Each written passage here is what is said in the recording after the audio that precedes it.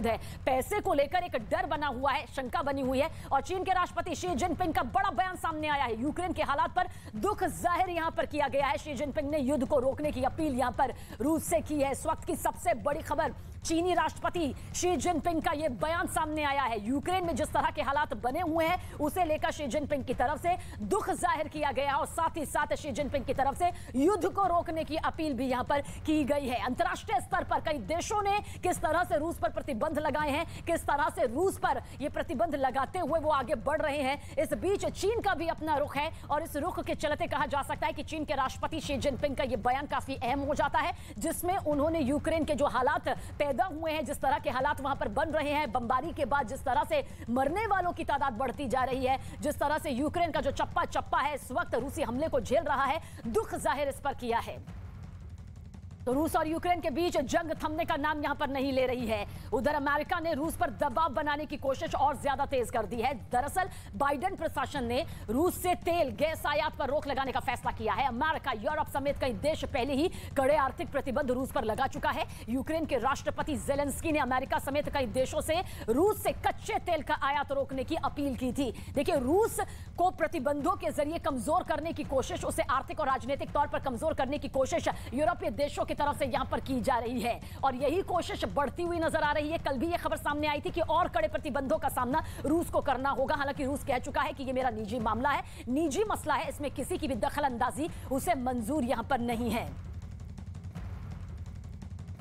Since Putin began his military buildup on Ukrainian borders, just since then, the price of the gas at the pump in America went up 75 cents.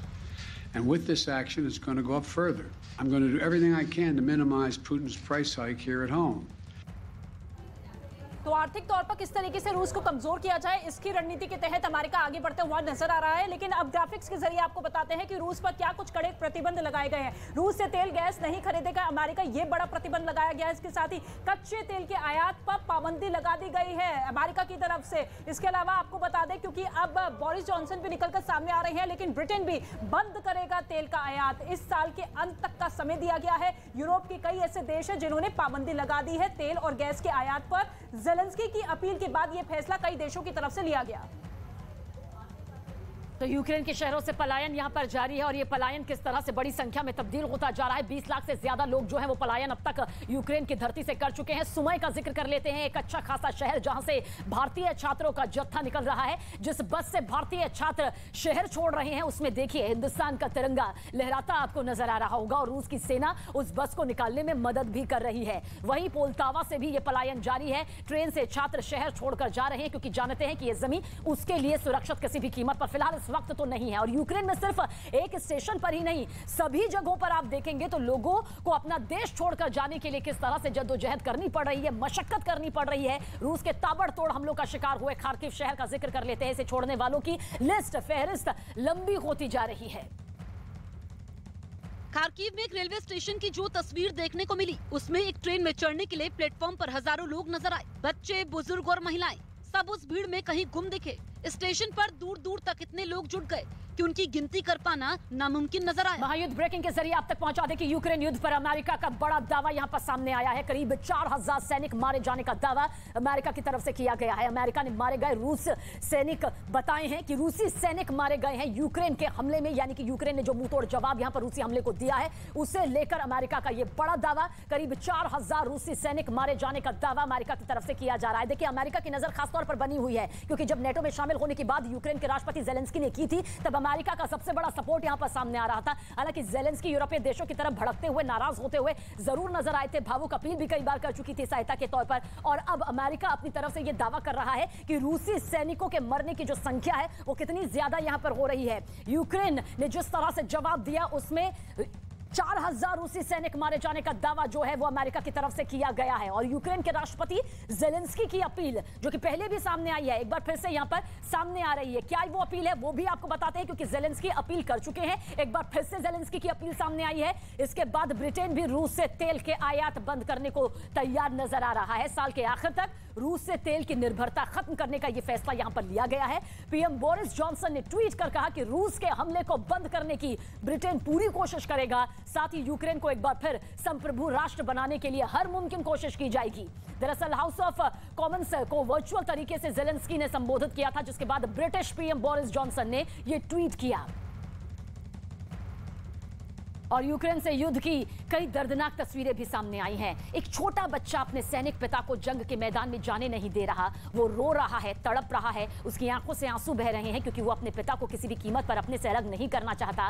बमबारी के बीच बच्चे को rescue किया गया और सुरक्षा कर्मी उस बच्चे को सुरक्षित जगहों पर पहुँचा रहे हैं। लेकिन इस बीच, इस बच्चे के आँसू ये बताने के लिए काफ़ी है कि महायुद्ध में परिवार से दूरी, जो झेलनी बच्चों को पड़ रही है पड़ रही है, वो कितना ज़्यादा दर्द दे रही है। अब तक कई बच्चों की जान तक जा चुकी है। जो बच्चे यहाँ पर महफूज हैं, उन्हें सुरक्षित जगहों पर पहुँचाया जा रहा है ताकि वो रूस और यूक्रेन युद्ध का शिकार होकर अपनी ज़िंदगी यहाँ पर ना गवाए। महातबाही का ये चौदवा दिन है। हालाँकि चौदहवें दिन में जो जो तस्वीरें अब तक आई है, उसने सिर्फ़ और सिर्फ़ बर्बादी ही दिखाई है। चाहे रूस की तरफ़ से हो, चाहे यूक्रेन की तरफ़ से यहाँ पर क्यों नज़र ना आ रहा हो?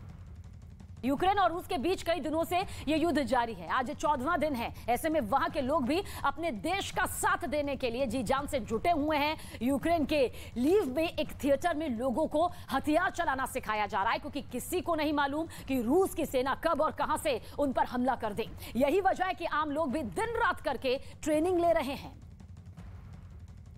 महिलाएँ पुरुष और बच्चे सभी जी जान से हथियार चलाना सीख रहे हैं। सेना के लोगों ने उन्हें छोटी सी पिस्तौल से लेकर राइफल चलाने तक की ट्रेनिंग दी। उन्होंने उन्हें शुरू से सिखाया जैसे कि पहले पिस्तौल में बुलेट लोड करना और फिर सही निशाना लगाना। लवी में ये ट्रेनिंग लेने एक माँ बेटी की जोड़ी भी पहुँची।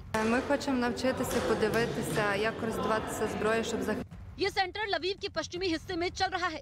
जहाँ करीब 24 गाँव के लोग पहुँचे जिनमें 1000 से ज़्यादा लोग हथियार चलाना सीख चुके हैं ये लोग यूक्रेन के बाकी हिस्से के लोगों की तरह पश्चिमी देशों से खफा नज़र आए उन्होंने बातों से ज़ाहिर कर दिया कि उनका अब उन देशों से भरोसा उठ चुका है जो युद्ध से पहले झूठे वादे करते थे I'm also angry at the world.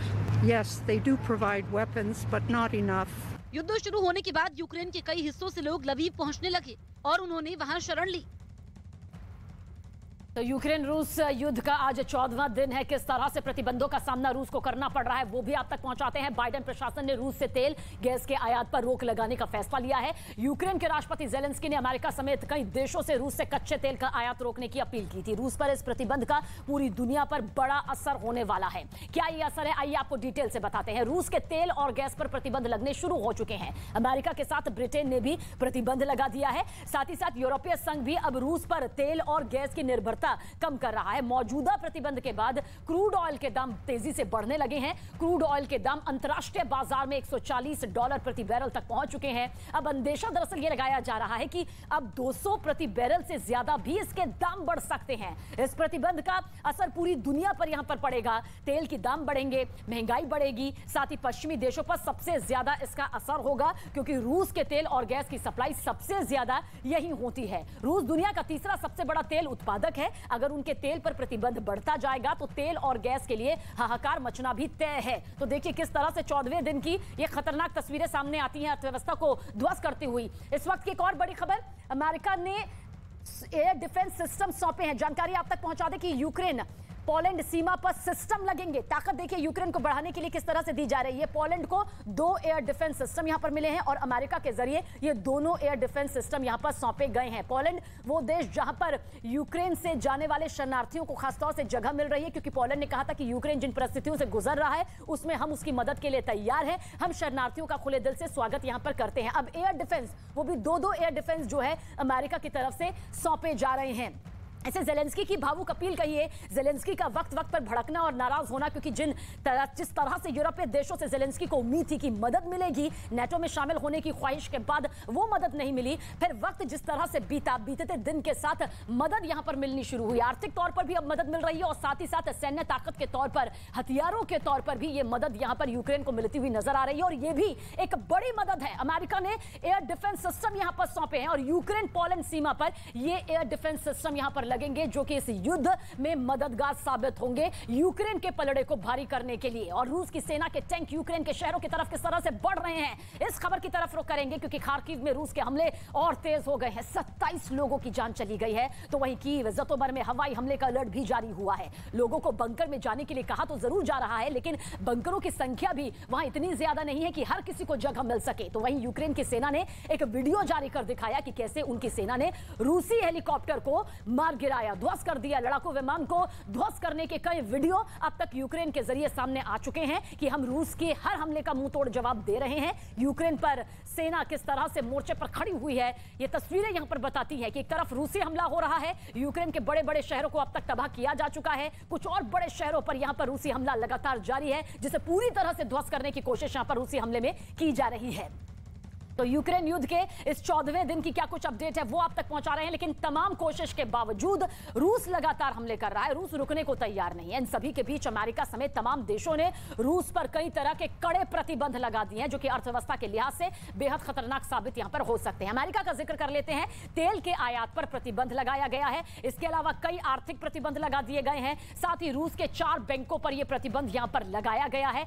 इतना ही नहीं, रूस की करीब बारह कंपनीज़ पर यह प्रतिबंध बैन लगा दिया गया है। रूस को निर्यात होने वाले रक्षा उपकरणों पर भी यह बैन लगाया गया है। रूस के दोस्त बेलारूस पर भी यह प्रतिबंध लगाया गया है, क्योंकि जग ज़ाहिर है कि बेलारूस मदद यहाँ पर किस तरह से कर रहा है। और साथ ही तमाम अमेरिकी कंपनीज़ ने रूस से अपना कारोबार पूरी तरह से समेट लिया है। यूरोपियन यूनियन ने भी कड़े आर्थिक प्रतिबंध यहाँ पर लगाए हैं। रूस के अमीर शख्सियतों के बैंक खाते फ्रीज कर दिए गए हैं। ब्रिटेन ने रूस की संपत्ति और बैंक अकाउंट को फ्रीज कर दिया है। हवाई क्षेत्र पर प्रतिबंध लगाया है। रक्षा निर्माता कंपनी रोस्टेक का भी ज़िक्र कर लेते हैं, जिनकी संपत्ति फ्रीज कर दी गई है। कनाडा ने रूस की आर्थिक तौर से कमज़ोर करने के लिए पुतिन को स्विफ्ट पेमेंट सिस्टम से बाहर कर दिया है और साथ ही रूस के 60 प्रभावशाली व्यक्तियों पर, शख्सियतों पर प्रतिबंध लगाया गया है। रूस के खिलाफ जापान ने भी कड़े प्रतिबंध यहाँ पर लगाए हैं। जापान ने सेमीकंडक्टर के आयात पर पूरी तरह से यहाँ पर रोक लगा दी है। तो आप समझिए किस तरह से रूस को लेकर ये प्रतिबंध यहाँ पर सामने आ रहे हैं। तो महायुद्ध ब्रेकिंग के ज़रिए आप तक पहुँचा दें कि रूस पर यूक्रेन का संगीन आरोप सामने आया है। मारियापुल में घेराबंदी का आरोप है। लोगों को टॉर्चर करने का आरोप बंधक बनाने का आरोप यहाँ पर रूस पर लगाया जा रहा है। पीने का पानी तक यहाँ पर नहीं दिया जा रहा। ये दा, ये दावा यहाँ पर किया जा रहा है। तो